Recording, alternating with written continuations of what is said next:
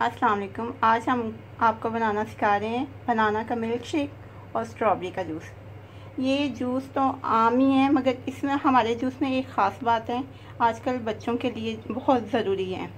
आजकल बच्चे TV mobile iPad उसमें हर वक्त लगे रहते हैं। इसलिए हम आपको एक ख़ास मिल्क शेक बनाना सिखा रहे हैं और जूस उसके लिए हमें चाहिए बादाम, पिस्ता, अखरोट, सौंफ और शरीनी।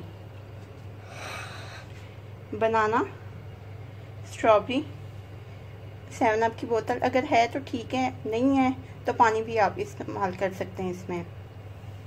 ये देखें, हम स्ट्रॉबेरी डाल रहे हैं इसमें।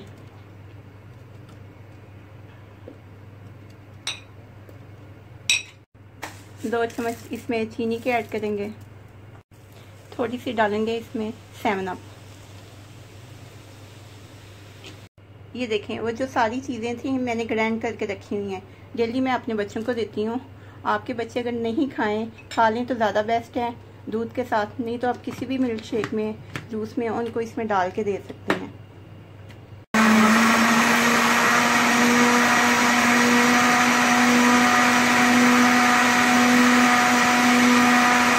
ये देखें जी, अब हम बनाने लगे हैं बनाना का मिल्क शेक आपके बच्चे को जो पसंद है, कोई मिल्क शेक या कोई जूस तो आप उसका वो बना के दे सकती हैं। ये देखें जी। और इसमें डालने लगे हैं, बादाम जो पिस्ता, उसका जो हम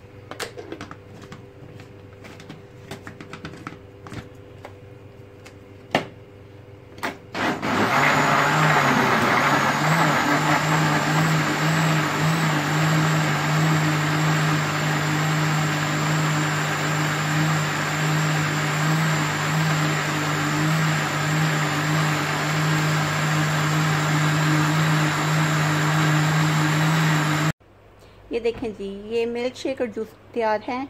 बहुत ही ख़ास किस्म का ये मिल्क शेक और जूस है। ये सारी चीज़ें बहुत फ़ायदेमंद है बच्चों के लिए।